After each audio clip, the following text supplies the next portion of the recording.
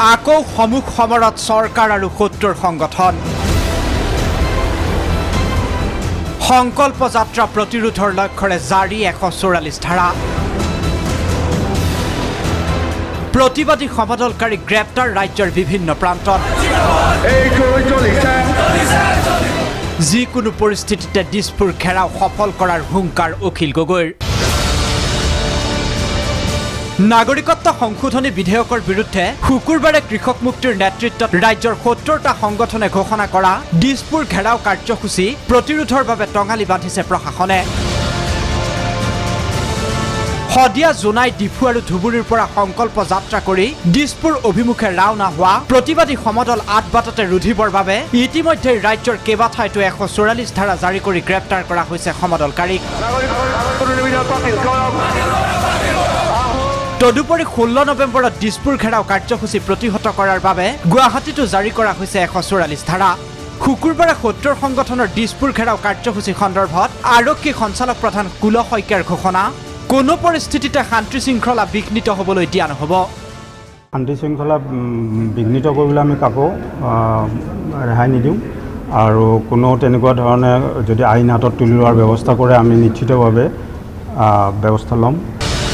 ইয়াৰ বিপৰীতে কৃষক মুক্তিৰ নেতা অখিল গগৈৰ হুংকাৰ পৃথিৱীৰ কোনো শক্তিয়ে বাধা দিব নোৱাৰে ষোল্ল নৱেম্বৰৰ কাৰ্যসূচীত।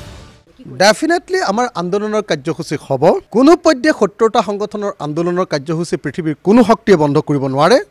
যে যদিহে অসম চৰকাৰে যদিহে অসম পুলিচে এনেকৈ অত্যাচাৰ কৰে তাৰ ফলাফল কিন্তু তেওঁলোকেও লাভ কৰিব। ষোল্ল নৱেম্বৰৰ সত্তৰ সংগঠনৰ প্ৰতিবাদ প্ৰতিহত কৰাৰ বাবে আৰক্ষী প্ৰশাসন সাজু হৈ থকাৰ কথাও ঘোষণা কৰে আৰক্ষী সঞ্চালক প্ৰধানজনে। শান্তি শৃংখলা অক্ষুণ্ণ ৰখাৰ বাবে সষ্টম কৰি ৰখা হৈছে নিৰাপত্তাৰক্ষী গুৱাহাটীত যি য'ত যি ফ'ৰ্চৰ প্ৰয়োজন পুলিচৰ প্ৰয়োজন তেনেকুৱা ধৰণে আমাৰ ইতিমধ্যে ডিটেইল কৰা হৈছে। বিভিন্ন আৰক্ষী অধীক্ষকবিলাকো এই সম্পৰ্কত জনাই দিয়া হৈছে। গতিকে আমাৰ ষ্ট্ৰেইট কথা আৰু আমাৰ চিধা কথা যে কোনো ধৰণৰ যাতে আইন ভংগ কৰা নাযায়।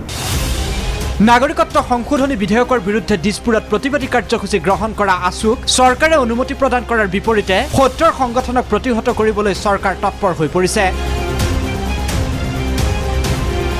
খেনুক দেখি ৰন্ধা বঢ়া খেনুক দেখি দুৱাৰ মৰা নীতি লোৱা চৰকাৰখনৰ এই আচৰণত ক্ষুব্ধ হৈ পৰিছে কৃষক মুক্তি। অখিলৰ মন্তব্য চৰকাৰে বৈষম্যমূলক নীতি গ্ৰহণ কৰিছে। ছাত্ৰ সন্থাই তাতে আন্দোলন কৰিছে। সদৌ অসম ছাত্ৰ সন্থাই দুই তিনি হাজাৰ মানুহ লৈ তাত আন্দোলন কৰিছে। এতিয়া আমাৰ ওপৰত ইমান বাধাৰূপ কিয়? শান্তিপূৰ্ণভাৱে কৃষক মুক্তিসহ সত্তৰটা সংগঠনে গণতান্ত্ৰিকভাৱে কৰিব খোজা আন্দোলনক আৰক্ষীয়ে উচতনি দিয়াৰ অভিযোগ অখিল গগৈৰ। পৰিস্থিতিৰ এই দৃশ্য দেখি একাংশ লোকৰ মন্তব্য একেখন বিধেয়কৰ বিৰুদ্ধে প্ৰতিবাদ কৰিবলৈ অহা আছুক চাহ মিঠাই আৰু কৃষক মুক্তিক বাস দেখুওৱা হৈছে।